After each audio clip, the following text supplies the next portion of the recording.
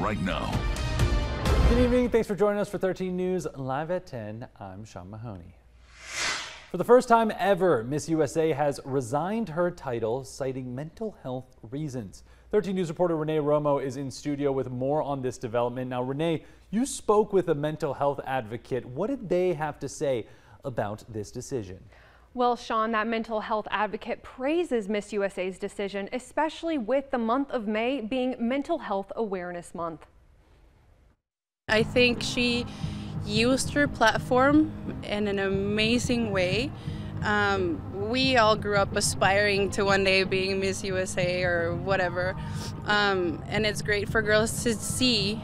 Miss USA Noelia Voigt announced her resignation this past week, and the shock didn't stop there as Miss USA's teen, Uma Sofia Srivastava, announced she was also resigning just a couple days later.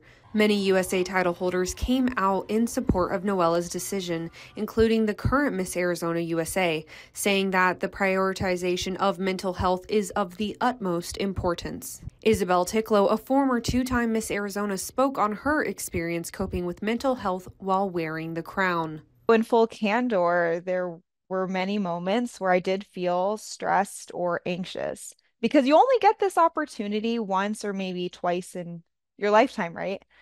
So you want to do a really good job. You don't want to do a disservice to the judges who picked you, the other girls you were competing against, or the people who are watching you in this role. DeHevis emphasized how important it is to prioritize your mental health just as much as you would your heart or gut, no matter who you are. But seeing someone like Miss USA being so vocal about putting her mental health first hopefully means more people will do the same. And Ticklow echoed that statement. So I admire their courage in being able to relinquish their titles in pursuit of mental health healing and advocacy because we recently lost a very beloved former Miss USA who died by suicide, and that's one too many lives lost to this. Lowe added that she hopes that Noelia and Uma are able to continue speaking on their experience, saying that their voices will be the key to opening that door to more conversations surrounding mental health, therefore putting it at the forefront.